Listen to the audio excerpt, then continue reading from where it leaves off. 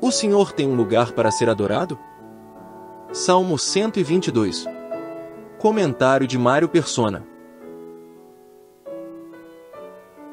O que é que tem em Jerusalém que outras cidades não têm? Uh, se nós pensarmos que nós estamos vivendo há três mil anos de quando for, foram escritos esses salmos, isso foi escrito três mil anos atrás, e Jerusalém está nos jornais quase que todos os dias. Essa mesma cidade de Jerusalém. O que é que tem Jerusalém que outras cidades não têm?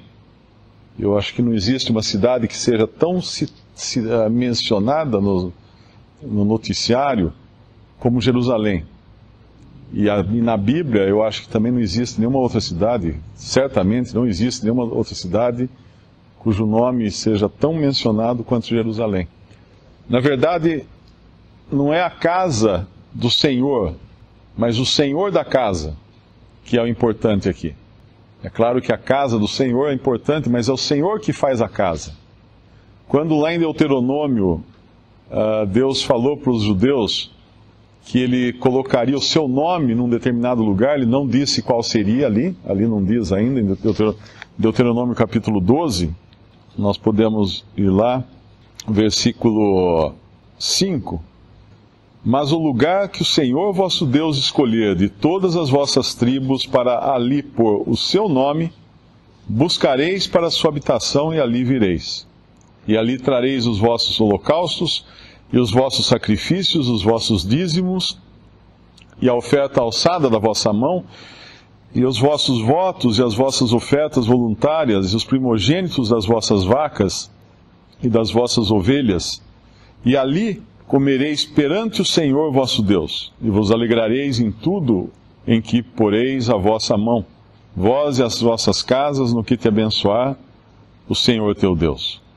Mais adiante, versículo 10, ele fala da terra como um lugar genérico, mas passareis o Jordão e habitareis na terra, que vos fará herdar o Senhor vosso Deus, e vos dará repouso de todos os vossos inimigos em redor, e morareis seguros. Agora, dentro dessa terra, então haverá um lugar que escolherá o Senhor vosso Deus, para ali fazer habitar o seu nome Ali trareis tudo o que vos ordeno, os vossos holocaustos, os vossos sacrifícios, os vossos dízimos, oferta alçada da vossa mão, e toda a escolha dos vossos votos que votardes ao Senhor, e vos alegrareis perante o Senhor vosso Deus.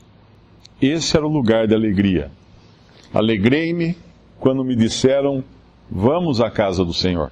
Não era só um lugar de alegria, mas um lugar para que eles levassem todas as tudo que eles tinham, né? Toda, todas as ofertas, todas as, as dádivas, todo, todo o louvor, toda a adoração, nesse lugar que Deus colocaria o seu nome, porque o Senhor estaria. Uh, o nome é a representação da pessoa. Né? Quando eu faço algo em nome de alguém, eu estou sendo representante dessa pessoa. E Deus colocaria o seu nome num lugar na terra, em nenhum outro lugar. É muito interessante que a cristandade adotou a noção do templo, né? Hoje nós vemos templos em todos os lugares. Na cidade você passa, tem vários templos cristãos e às vezes templos de outras religiões. Mas Deus só deu um templo ali em Jerusalém, que era o lugar para onde eles deviam levar todas as coisas, o lugar onde eles deveriam adorar. E o Senhor honra esse templo também nos evangelhos, nós o vemos expulsando os vendilhões do templo. Mas hoje não há um templo mais. O templo foi destruído. Então, é, essa semana até recebi um e-mail de um irmão em Cristo que não aceita um monte de coisa, né? Que, e ele diz que tem que dar o dízimo, porque nós temos que pegar o dízimo e levar no templo. Eu nem continuei a conversa porque uh, é, é, é é inútil né, explicar que, em que templo que vai levar. Ele obviamente estava falando no templo da denominação que ele reúne. Levar o dinheiro do dízimo no templo. Mas só há um templo. E o templo só era templo porque o Senhor tinha colocado o seu nome ali. Não era o homem que tinha inventado aquilo, como são os templos humanos. Hoje nós não temos um templo, mas nós temos o Senhor ainda. O mesmo Senhor. Nós não temos uh, um lugar físico, mas nós temos um nome. E a esse nome nós trazemos a nossa adoração, o nosso louvor. É em torno desse nome que nós nos reunimos. Esse nome é o centro. Esse nome faz o lugar. Assim como foi em Israel, não era Jerusalém que fazia o lugar, mas era o nome do Senhor naquele lugar que, que tornava aquele lugar todo especial. Em Isaías capítulo 2, nós vemos uma, uma visão que Isaías tem que fala desse tempo aqui.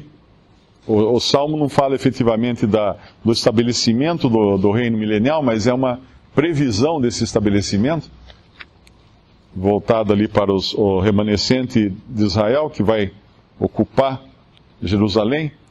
Mas no, no Isaías 2 ele, dá, ele tem uma visão desse lugar já estabelecido.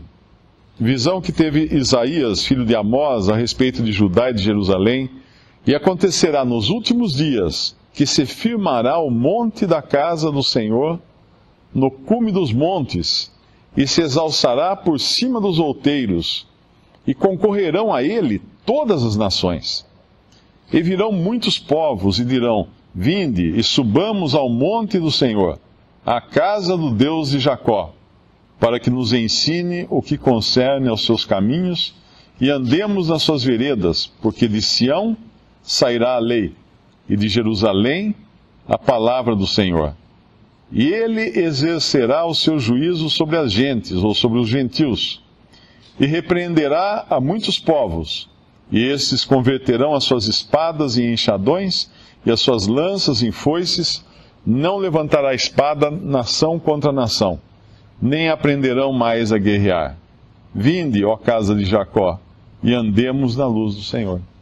Esse é esse dia glorioso, né, no milênio, quando não haverá mais guerras, não, haverá mais lutas, mas tudo será um, será um reino de paz e de justiça.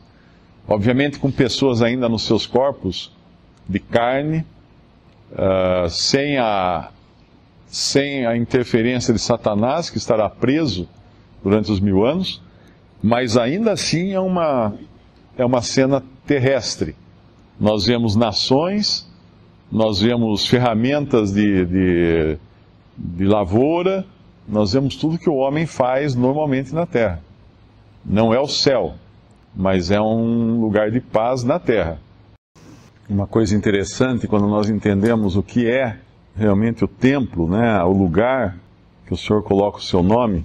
Por exemplo, quando nós vemos lá, antes era o tabernáculo, era uma tenda né, que representava a presença de Deus, então, no meio do seu povo de Israel, ela era móvel, mas cada elemento dessa tenda tipificava Cristo, de alguma maneira.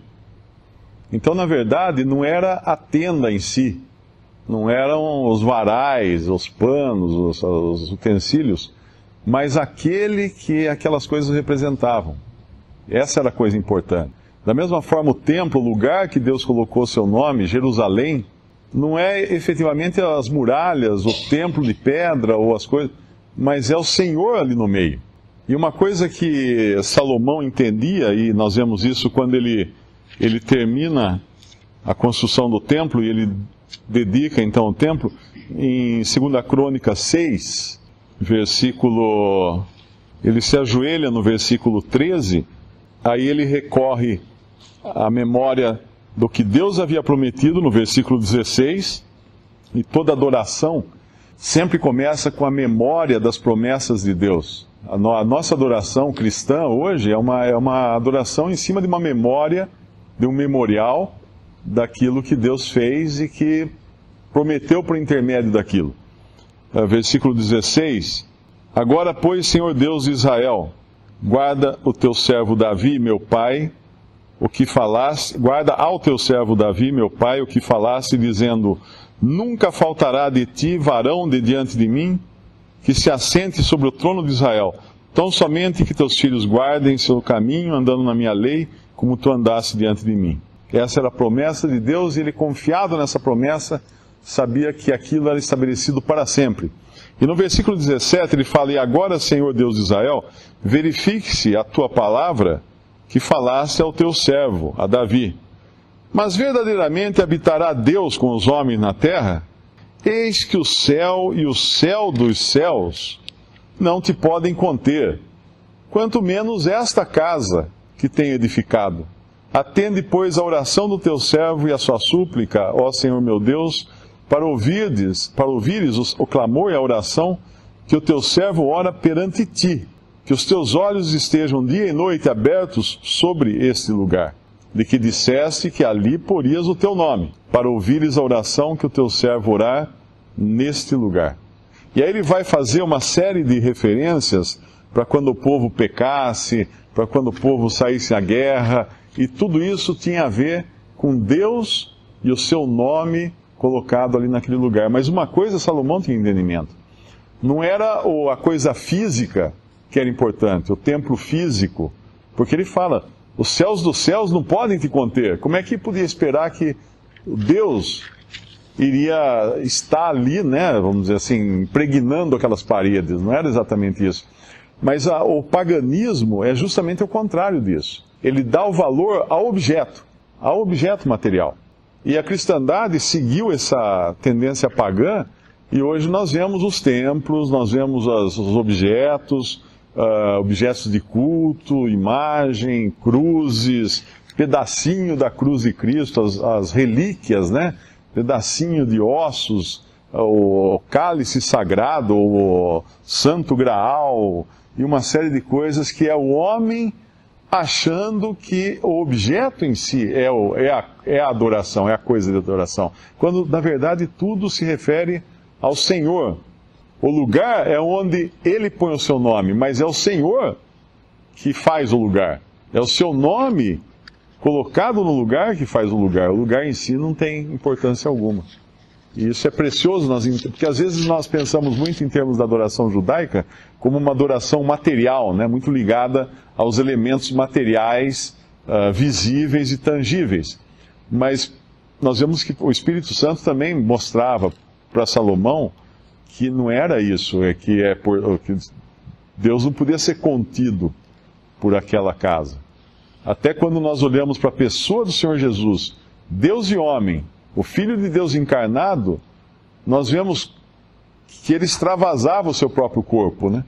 Quando ele fala assim, uh, ninguém subiu ao céu senão o Filho do Homem que, que desceu do céu e está no céu.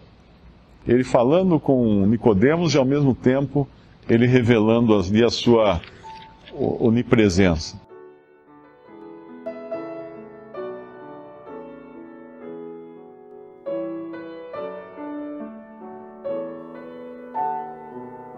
Visite respondi.com.br. Visite também 3minutos.net.